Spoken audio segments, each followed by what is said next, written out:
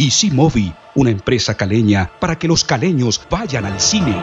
Y Valle Leite, manjares con el sabor tradicional de nuestro Valle del Cauca, presentan De Taquito con Marino, con Marino Millán. América 0, Santa Fe 0. Mucho ruido y pocas nueces.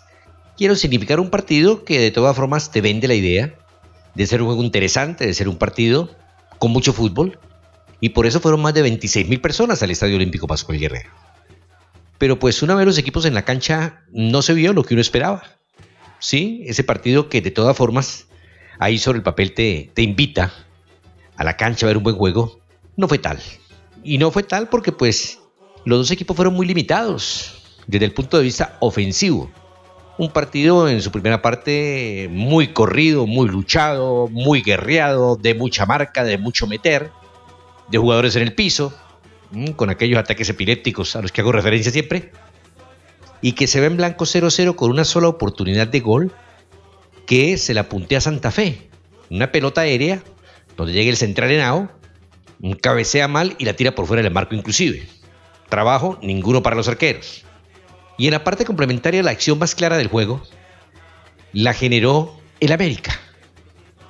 Hay que decirlo.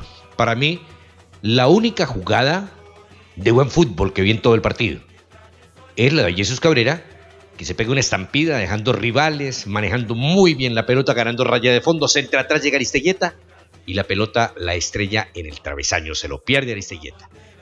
Fue lo más claro de todo el partido. Y yo diría la única jugada del fútbol que a mí me gusta, ¿cierto? Ah, no, habrá gente que le gusta ese fútbol rácano, ese fútbol tosco, ese fútbol amarrete, ese fútbol de media cancha ahí en la mitad, donde a los empellones, a los empujones, malas entregas, una imprecisión total.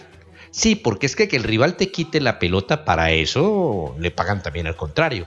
Pero que tú se le entregues al contrario, o tener laterales como Jonathan Pérez que no saben hacer un centro por el amor de Dios.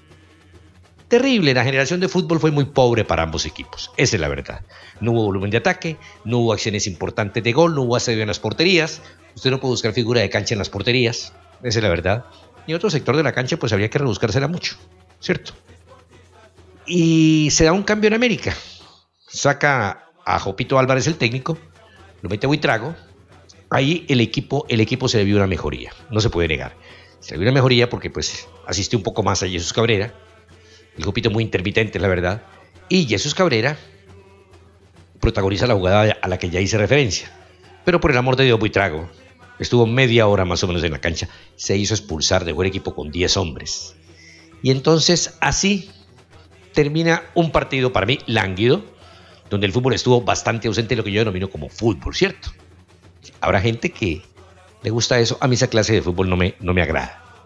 Y ese fútbol lo, lo trajo un Santa Fe muy parecido a su nuevo técnico, Gerardo Bedoya, de trabar, de enredar, de complicar. Y América fue un equipo irresoluto. América no supo zafarse de eso y entró en la misma situación.